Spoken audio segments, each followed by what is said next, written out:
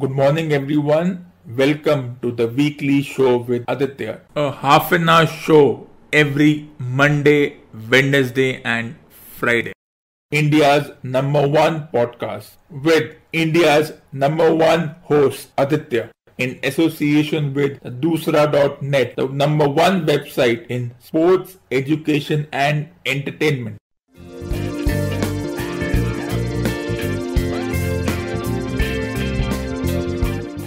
It's the last Friday of July, and I, your host Aditya, welcome you to the 92nd episode of this iconic show.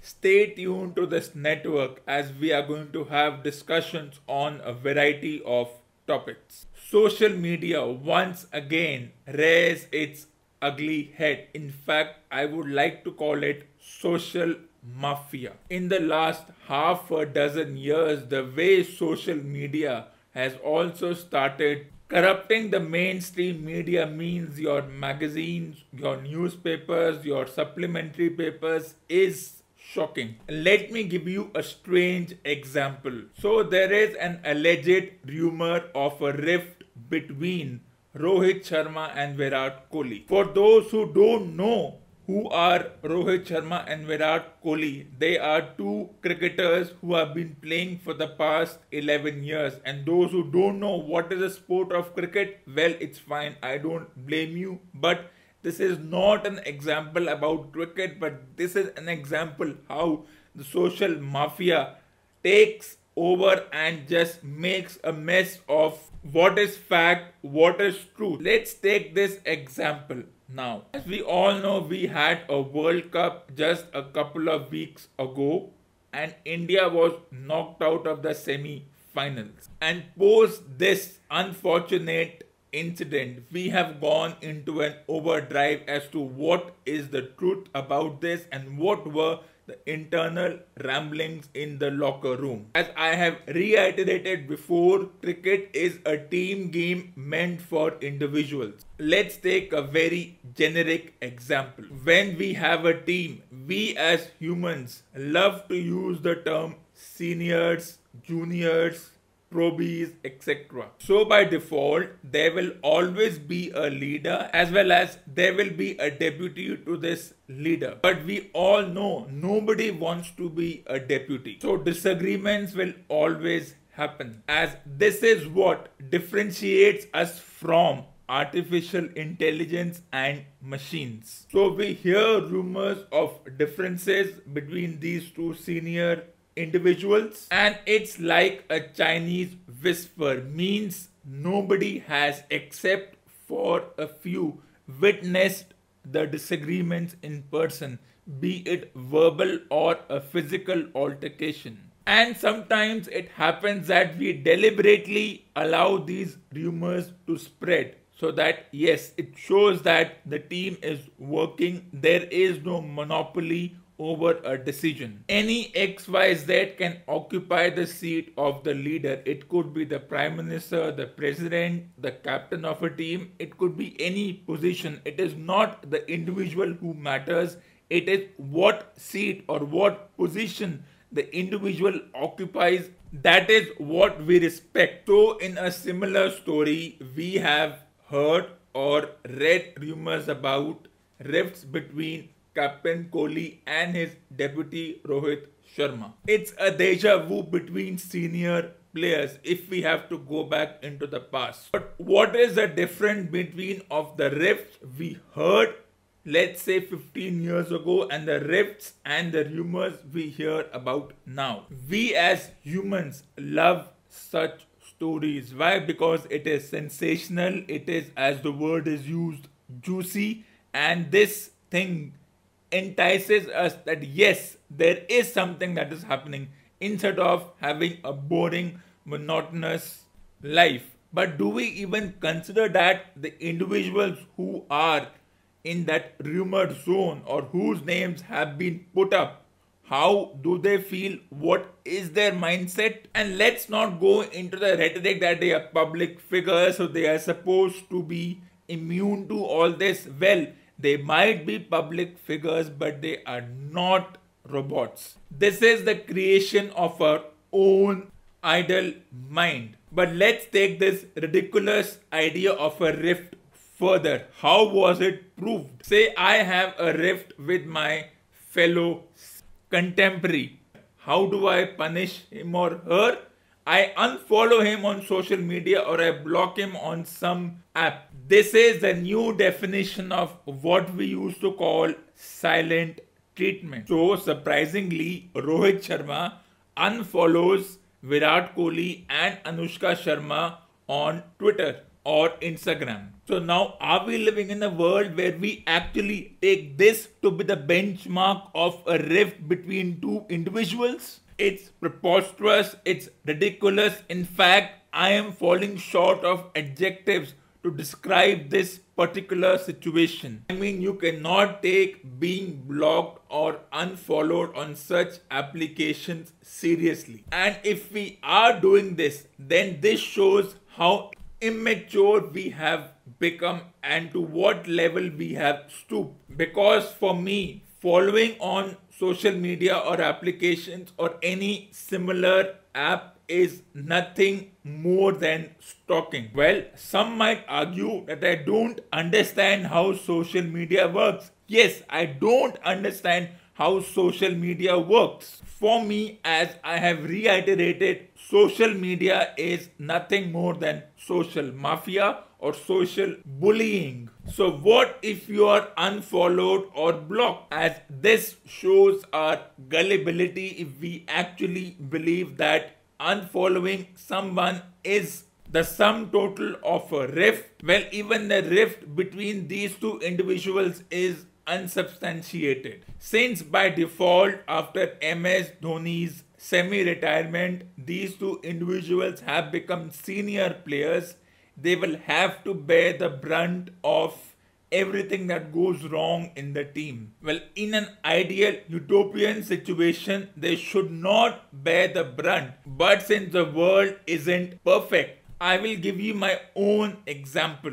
I am part of an organization where I am one of the senior members. Well, I don't want to use the term senior, but since we use it, then I would use it because that's how the cookie crumbles. So, yes, I am one of the senior members of that organization. I was in the leadership group a couple of years ago. But unlike sports, our roles are defined and we know where the final decision lies. So, by being trained in the right manner, we understand what we have to do and what we have to avoid. The most interesting thing about this rumored rift is that the individuals involved have not even spoken a word about this. And all that is happening is, I would use one word for it Chinese whisper. And then our repeated analogy or analysis that since Rohit would be a better captain in the 20 and 50 over format, let's have a split captaincy. So we as outsiders are equally responsible for spreading this rumor like a wild fire and we need to be mature and understanding before doing all this and certainly do not take being blocked or unfollowed on such applications as the benchmark of any official rift or arguments. Cricket is not even a team game, it is a team game by fluke. So, my understanding of this whole exercise is simple that if you are part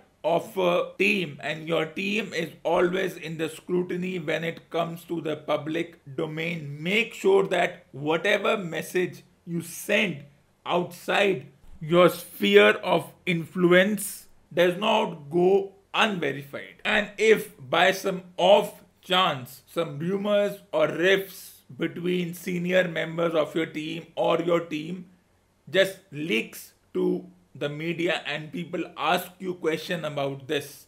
My only advice is tell the individuals it is nothing but a chinese whisper and that disagreements are good for humans. Why? Because we are not robots. We are not products made in an assembly line. So, yes, disagreements, rifts are good to keep us on our toes. And if the source of such rumors is social mafia, then just dismiss it with a wave of your hand. Because if we have to talk about rifts, then let me give you example. And yes, these are not substantiated or authenticated, but they were in the era before social mafia was born.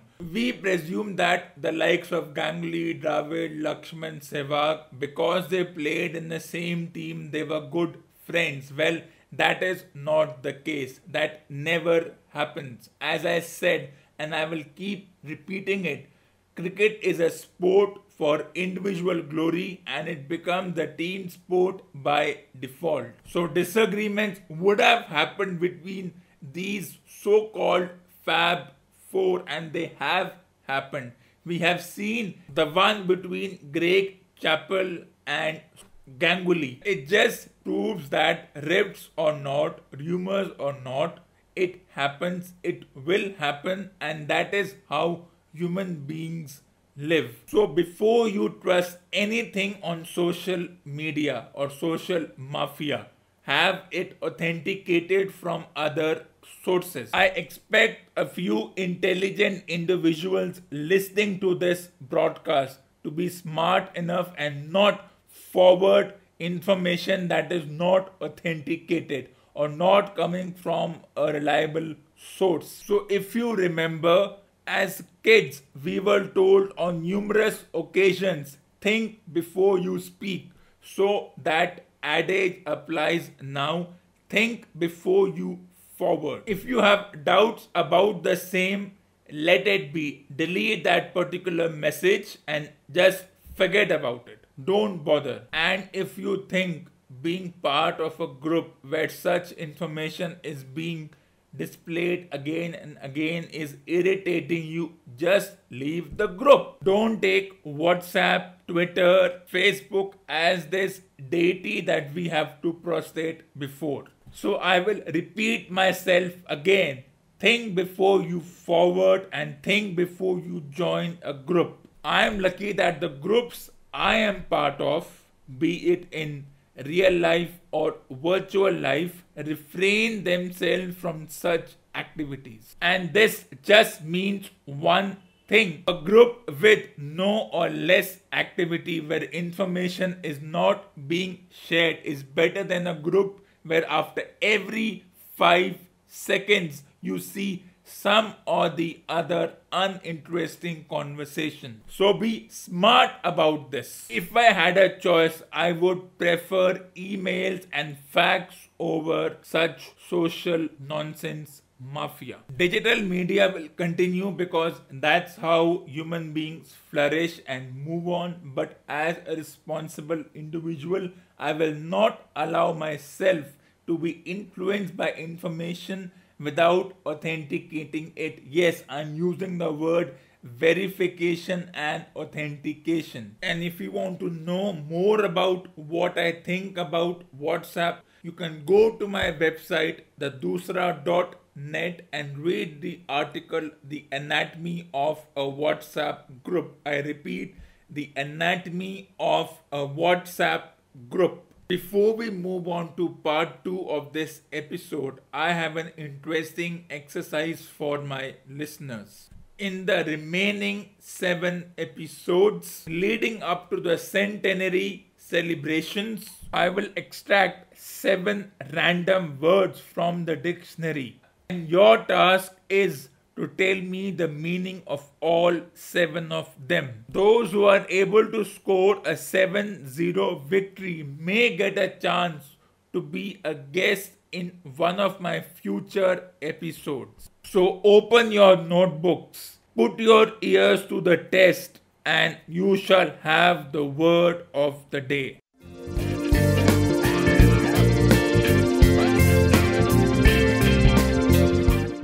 Welcome to part 2 of this special episode How the World Has Progressed. Lifestyle disorder has become the term of the day. In a world where we are on the clock 24 7, not a moment of rest. The mobile device, the computer has become such an important part of our daily functions. So, as humans, we have to blame something and we have to invent new words. And the best word that we have invented is that has caught everybody's attention is stress. For me, stress is subjective and an excuse. So, to create a wall between present and ancient times, this is how we quantify stress. So, we feel that people have deep seated anxiety, fear of letting other people down,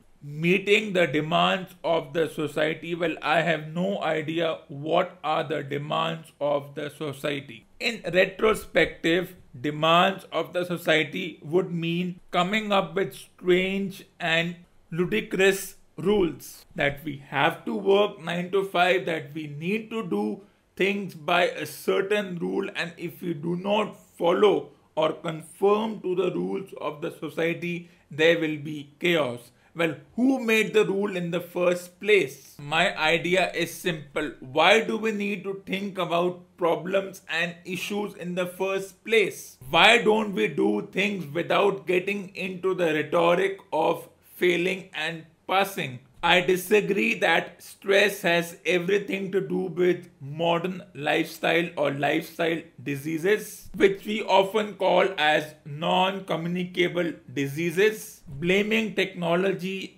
gadgets, and devices are a very simple way of distinguishing the good old times and the present stressful times. There is no contract which says that you have to use your mobile devices all the time. To use or not to use is subjective. For example, I do not use Twitter, Facebook after every 5 seconds. I have with great pleasure disabled my Twitter account and I feel absolutely fine.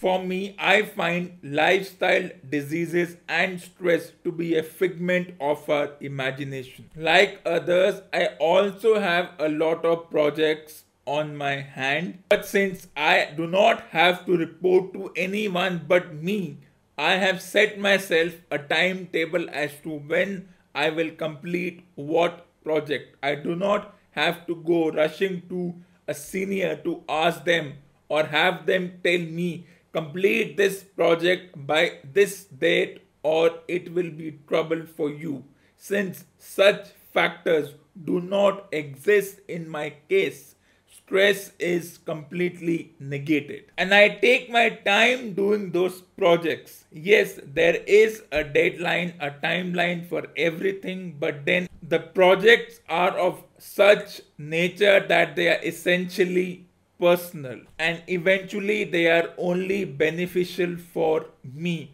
So I can guide those projects as to when and how I want to take them forward and complete them. Let's take the example of the production of the episodes of this particular podcast. It's not a daily podcast, it's an alternative podcast. So I know when I have to do what, and I can take a break when I want. Am I stressed about this? The question is stress for what? The quality and the quantity of the podcast, well, that comes in time. I received the appropriate feedback, I noted down, and then as and when I improve the next episode, and that's how it happens. I tried in the beginning to ask people or my listeners to give me topics on which they would like me to talk about, or if there is a certain subject of which my knowledge is limited, I can arrange the appropriate individuals but since I did not receive what topic they would like me to speak about, that means they left that decision to me and me alone.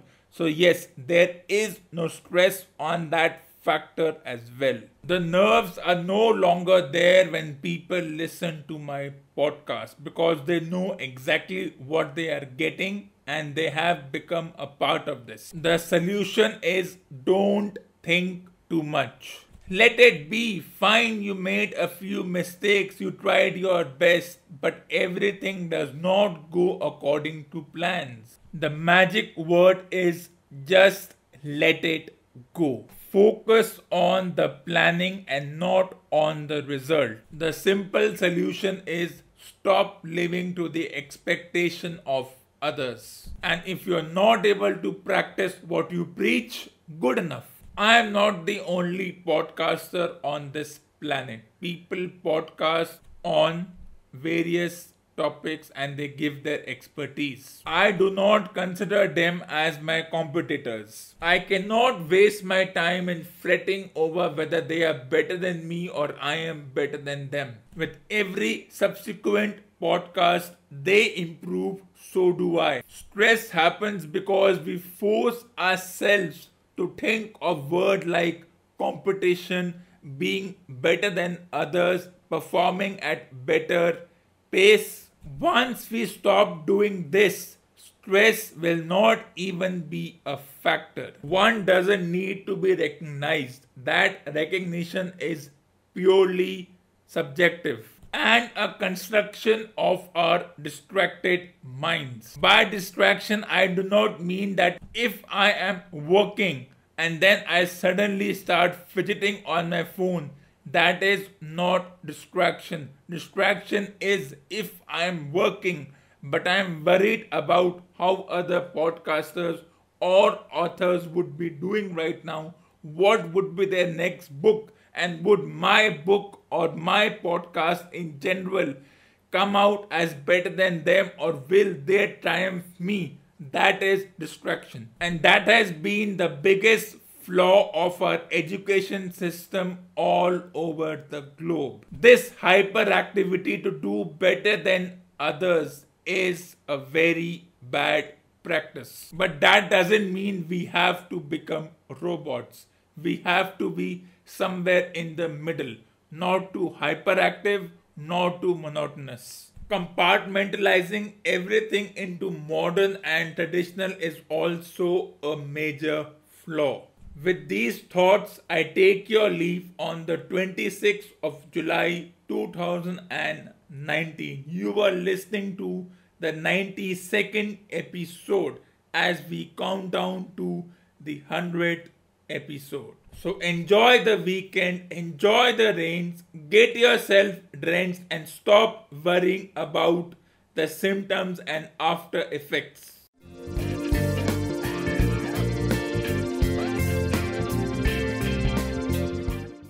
So if you want to be a part of my show, please send your valuable suggestions and send your recordings on topics ranging from sports, education, and entertainment.